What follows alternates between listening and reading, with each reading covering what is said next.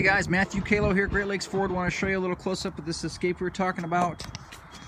I don't see any rust, slightest little bit of damage right there. Slight little chips right there, little hole right there in the bumper. Nothing too major. This is stuff that I am happy to take care of for you.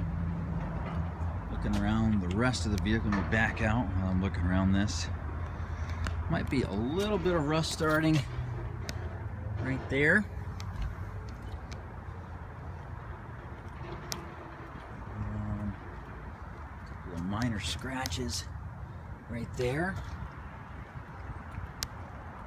Other than that, looks like there might be